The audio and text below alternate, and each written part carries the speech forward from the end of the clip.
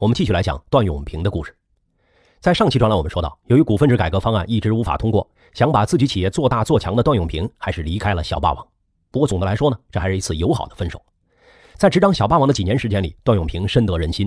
于是，在离开的时候，很多公司中层都纷纷离开小霸王，加入了段永平的团队。总经理助理、外销部长、内销部长、工程部长、计调部长、生产部长、计财部长、后勤部长、供应部长，都在新公司找到了相似的位置。甚至给管理人员加薪都留不住。当时小霸王找到了几位准备离职的中层干部，问他们为什么不留下来继续发展呢？其中一位说：“船长不在船上了，水手们不知道船会开到哪里去，所以要求下船。”一九九五年九月十八日，步步高电子有限公司宣告成立。现在回顾段永平的步步高时期啊，他做对了三件非常重要的事儿。第一件事儿就是公司的股权制度。由于段永平曾经深受股权分配的困扰，所以很明白激励措施的重要性。于是，步步高在创业之初就实行股份制度，中层管理人员可以入股，代理商也能加入，甚至连基层员工如果想入股的话，也可以加入。如果没钱的话，段永平会拿出自己的钱来借给基层员工，帮助他们入股，而偿还的方式就是未来股份的分红和股利，这样员工也有动力把公司业务做好，毕竟有了利润，自己就可以还钱了。在这套制度下，步步高建立之初，作为领头人的段永平占到了百分之七十的股份。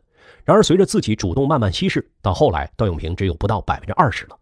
股份虽然稀释，但换来的是团队的众志成城。第二件事还是段永平的看家本领——营销。因为和宜华集团有协定，所以步步高开始的时候主要做的是学生电脑和电话机。在这个新品牌上，他在把控产品质量的同时，继续把广告营销看作战略武器。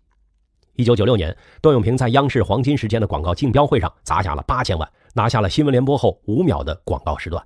第二天。步步高再次出手，一个夸张的一点二三四五六七八九亿人民币的价格，又拿下了新闻联播五秒时段的第一条。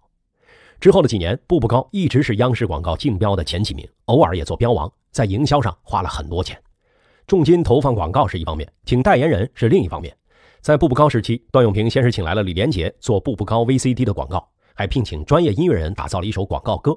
可能有些同学还记得一些歌词啊，比如“世界自有公道，付出总有回报，说到不如做到，要做就做最好，步步高。”当时这广告的画风确实有点诡异啊，但真的管用。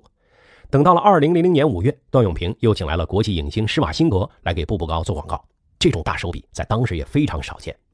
另外，不知道你还记不记得一句非常经典的乃至有点洗脑的广告语，叫做“妈妈再也不用担心我的学习了”。这句话同样是步步高的手笔。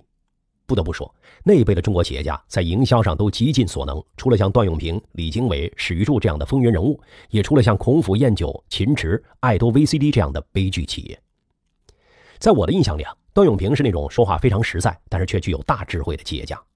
可能很多人也知道，他常年坚持写博客，零散的谈一谈自己的投资和做企业的心得。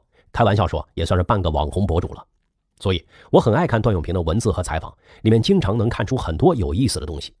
比如，对于自己经营企业的方法和企业的营销风格，段永平在一次访谈中是这么说的：记者问，从小霸王到步步高，你似乎已经找到了做企业的规律，能不能分享一下你的发现呢？段永平说：“每个人都想从我这里听到新奇的故事。我说真话，人们可能不相信。其实做企业真的是这样，百分之九十九的汗水加百分之一的灵感，我称之为平常心。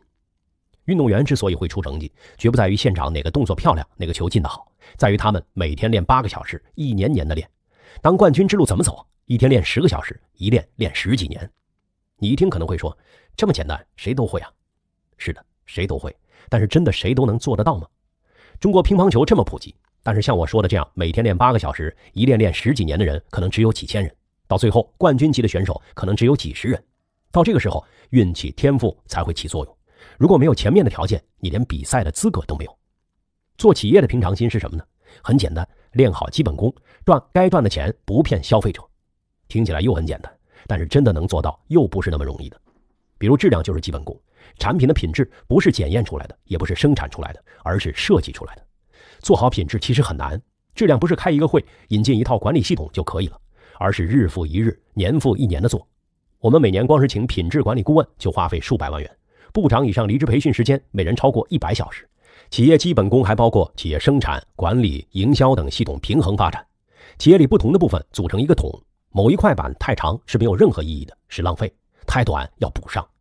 有的企业营销方面的确很长，但是那只能叫一块板，而不能当做桶来用的。如果一定要问企业哪一方面最重要，我只能告诉你，最弱的那个方面最重要。记者又问，步步高在广告的表现上是很出位的，比如步步高一九九八年、一九九九年按实际投放额计算是央视的标王，还比如公司会请李连杰、施瓦辛格拍广告，这也是一种平常心吗？段永平说，是不是平常心的分别就是是否知道自己在干什么？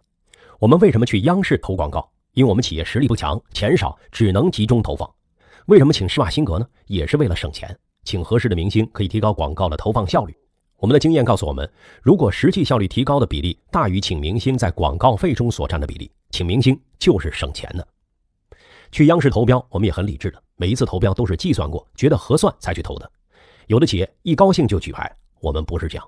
比如说一九九八年那一次，有人说我和胡志标在争，胡志标是爱多 VCD 的。那其实我没和他争，在我的心目中，这个位置、这个时间段值两个亿，超过两个亿我就不要了。同样的钱，我可以花在别的地方，达到更好的效果。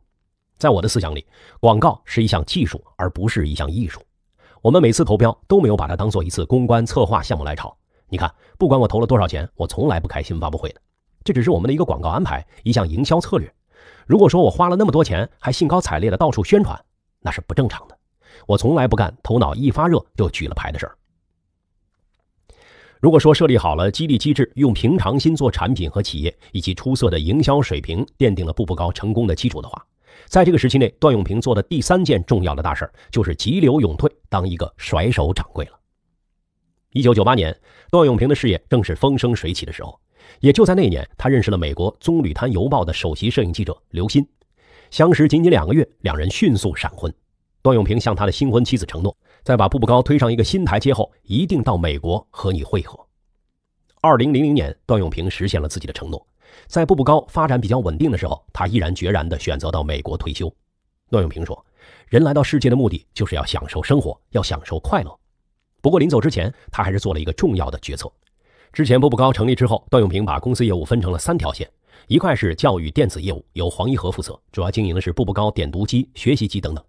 一块是视听业务，由陈明勇负责，主要经营 VCD、DVD、MP3、蓝光 DVD 这些产品；另一块是通信业务，由沈伟负责，主要经营无绳电话、步步高音乐手机等等。到一九九九年初，段永平根据国内外竞争形势的变化，对步步高公司进行了改制。他把这三大业务按照人随事走、股权独立、互无从属的关系成立为三家独立的公司。也就是说，段永平把三块业务单独成立了三家公司，成为三个独立法人，相互间是没有任何法律上的联系的。那如果一定要说有关系，就是三家公司有一些共同的个人股东，比如段永平和我们刚才提到的省委黄一和、陈明勇几位高管。另外，在开始的一段时间，为了三家公司能快速发展走上轨道，他们共享步步高的品牌和步步高原来百分之八十左右的销售渠道。而后来，这其中的两家公司就成为了如今在手机市场里不可忽视的两个品牌。OPPO 和 vivo，段永平这种杯酒送兵权的做法，形成了步步高系的一种独特的企业文化。老板不占太多股权，中高层和员工大量持股。OPPO 和 vivo 两兄弟也很好的继承了段永平企业管理的基因。目前，OV 两兄弟的实际管理者陈明勇和沈伟也只占自己公司股权的百分之十左右。这两个品牌也逐渐进化成中国最赚钱的手机品牌。在事业蒸蒸日上的时候，四十一岁的段永平不贪恋更大的成功，毅然选择漂洋过海去经营他的家庭和生活，这让他人生第二个重要的阶段也完美落幕。